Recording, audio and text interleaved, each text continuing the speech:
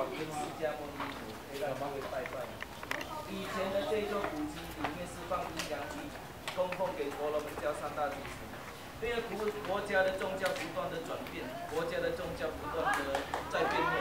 今天我们的老百姓变成信佛教的释迦牟尼佛，所以我们用力把阴阳鸡给它搬出来，然后呢换了一尊释迦牟尼佛。